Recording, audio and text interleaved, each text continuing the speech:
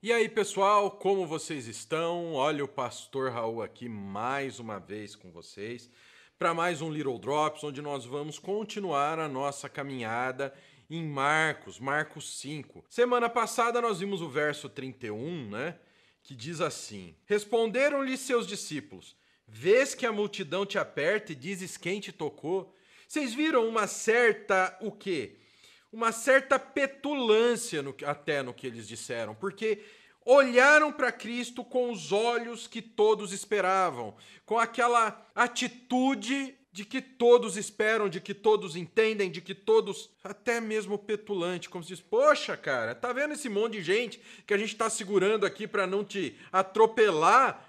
E você tá, tá perguntando quem te tocou, um monte de gente te tocou. Eles não olharam pelos olhos de Jesus, eles não pararam para pensar: peraí, se o Senhor, se alguém tocou no Senhor, é porque tem algo.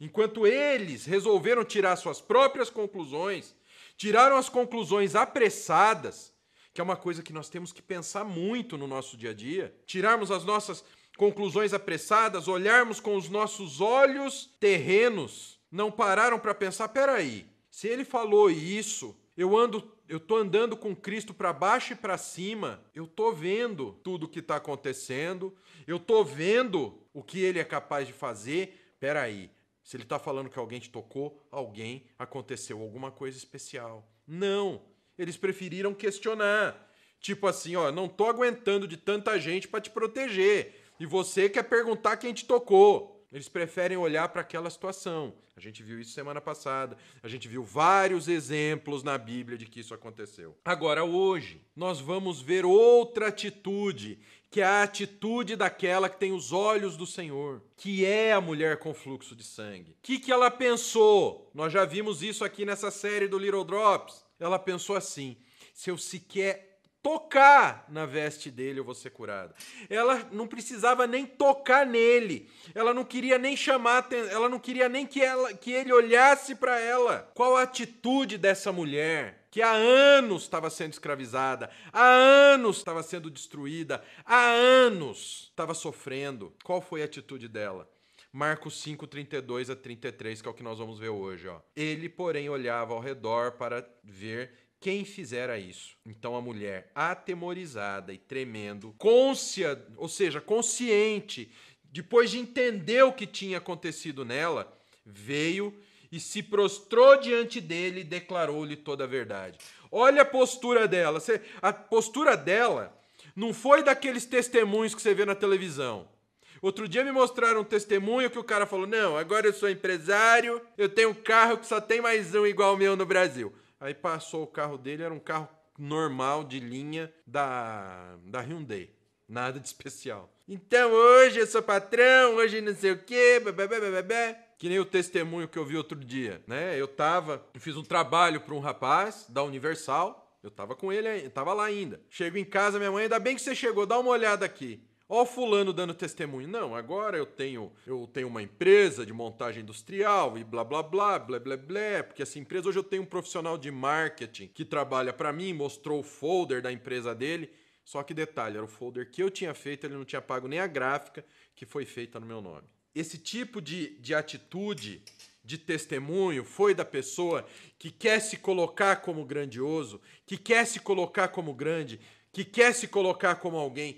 Eu sou o cara, o abençoadão. É isso, pessoal? Ou ela se colocou aos pés dele e confessou o que tinha acontecido. Ela sabia, ou ela sabia o quanto Cristo era grande, o quanto Cristo era poderoso. Ela sabia quem era a ponto de tocar apenas nas vestes, nas vestes, na roupinha. Não quero nem que ele me veja, eu vou por trás. E aí? Qual é a atitude correta? A dos, das pessoas que estavam ali com Cristo, os discípulos, falaram: Ah, em meio a essa multidão você está falando que alguém te tocou? Lógico que tocou. Ou é dessa mulher que veio e se prostrou. Marcos 5,32. Ele, porém, olhava ao redor para ver quem fizera isso, para quem o tocou, quem encostou nele, E aí, então, a mulher, atemorizada e tremendo, sabe, vemos hoje as pessoas tratarem Jesus como se fosse teu companheiro de sinuca, como se fosse o amigo do futebol que você passa rasteira nele. Tratam Cristo como se Cristo fosse um serviçal, como se Cristo fosse o teu chapa. Lembram aquele nome absurdo que deram para Cristo naquele programa de TV? Daquela moça que vivia com aquelas roupas agarradas. O cara lá de cima. Que cara, mano. Que cara. Hoje a pessoa acha normal ir na igreja de bermuda se apresentar a Deus, ao Senhor Todo-Poderoso de bermuda. Isso é temor? Tenta entrar de bermuda e camiseta numa sala, numa audiência judicial. Entrar de boné para você ver o que te acontece. Faz esse teste. E hoje acham que Cristo tá ali para servir que Cristo está ali para ser o serviçal.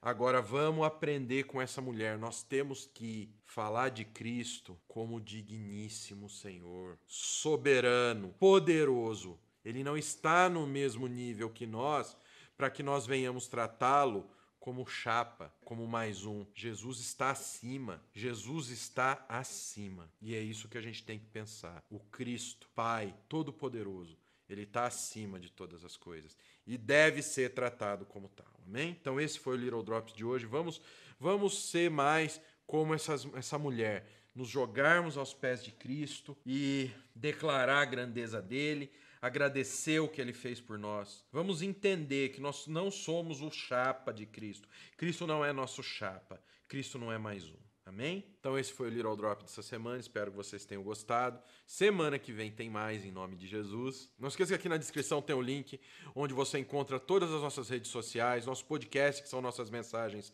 em áudio tem os três e-books gratuitos do Nascido de Novo para você baixar, que você recebe no seu e-mail. Ou seja, tem tudo sobre o Nascido de Novo. Nossas indicações da Amazon também está embaixo a nossa lista de indicações de, de publicações do review. Ou seja, está tudo aí. E olha, deixa a tua opinião. Como você acha que nós devemos nos portar? Responde aí. Como você acha que nós devemos nos portar perante ao Senhor, perante ao nosso Cristo? Amém? Então, que o Pai, o Filho e o Espírito Santo abençoe demais a vida de vocês. Até a próxima, em nome de Jesus.